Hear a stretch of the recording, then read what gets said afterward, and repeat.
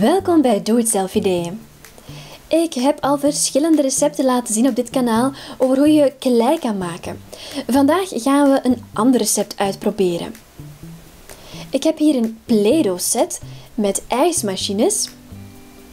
Ik ga jullie een recept laten zien voor klei waarmee je zulke ijsjes kan maken. Het is klei met een geurtje, heel erg bijzonder en als je dus geen Play-Doh hebt kan je wel kleien. Je hebt twee koppen meel nodig, een lepel olie, een kop warm water, een halve kop zout, twee lepels bakpoeder en dan heb je ook aroma en kleurstof nodig.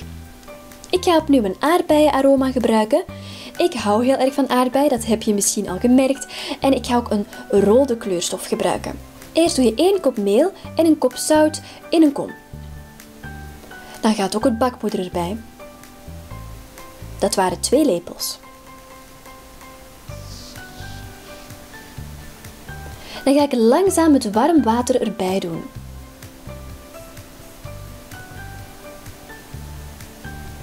Ik heb het tot 60 graden verwarmd trouwens.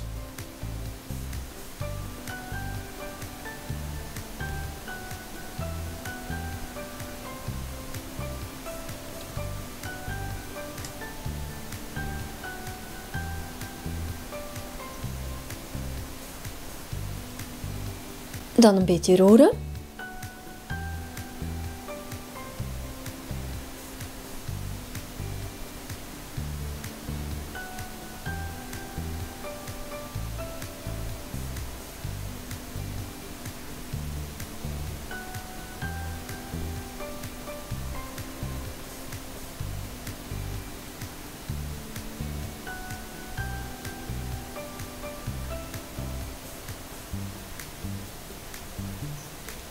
En dan gaat er de olie bij.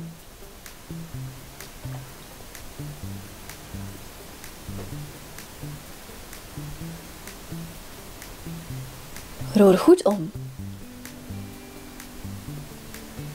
Doe er een paar drupjes aroma bij en ook wat kleurstof. Dit is trouwens gewone voedingskleurstof. Je hebt in verschillende vormen, onder andere in poedervorm.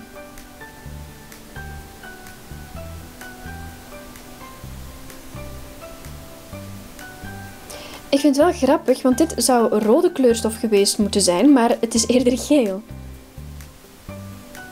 Mijn vingers die werden wel rood, maar mijn mengsel niet bepaald.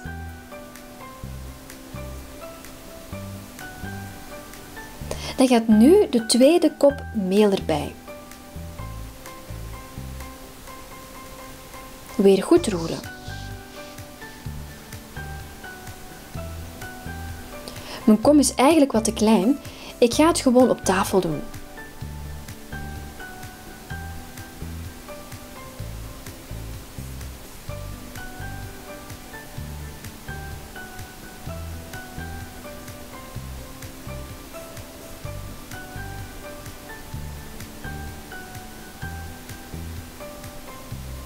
En je merkt het nu al, je mengsel is tot een heel aangename klei geworden. Je kan er heel erg goed mee kneden.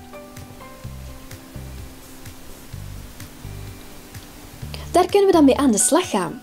Ik heb hier de spulletjes die in de Play-Doh set zitten al uitgestald. Dan gaan we nu proberen of we ook met onze zelfgemaakte klei hiermee aan de slag kunnen. Het is dus echt heel erg leuk om met kinderen samen te maken. Klei kan ook best duur zijn, maar zelfgemaakte klei dat kost bijna niks en het maken zelf is ook gewoon fijn. Je kan ook klei maken in verschillende kleurtjes naar wat je nodig hebt. Dus als je bijvoorbeeld ijsjes maakt, kan je verschillende smaken maken. Als je er nog eens aroma bij doet, dan wordt het helemaal echt. Bij de set zat een ijsschep, die ga ik natuurlijk ook gebruiken. Ik neem er wat klei mee. En daarmee maak ik een bolletje in het horentje. Eén bolletje is wel heel weinig natuurlijk, dus er gaat nog een tweede bij.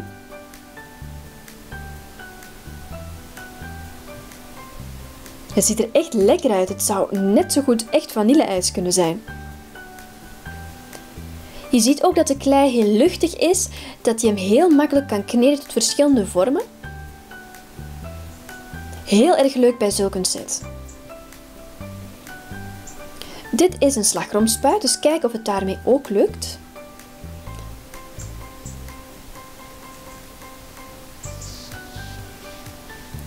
Ga ik daarmee vormpjes kunnen spuiten van onze klei?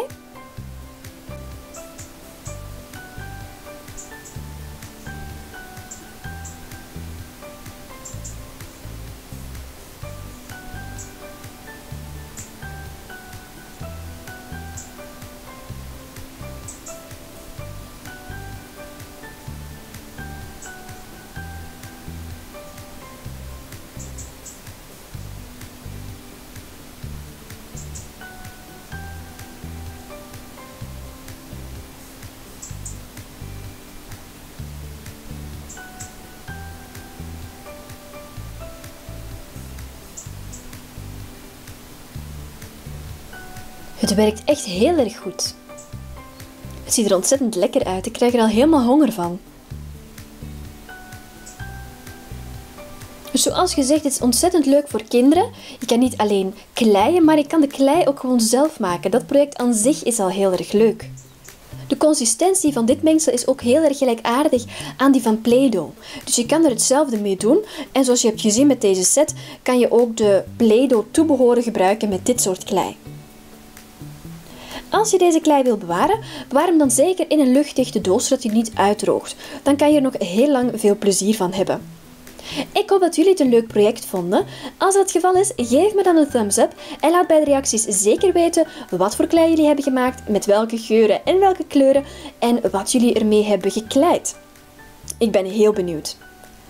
Bekijk ook de andere video's op het kanaal als je op zoek bent naar andere kleisoorten. Daar vind je vast en zeker wel een recept voor. Abonneer je op het kanaal om nooit meer een filmpje te missen. Vergeet ook niet dat je je favoriete filmpjes met vrienden kan delen. En dan hoop ik jullie terug te zien bij een volgende video van Doe Het Zelf Ideeën.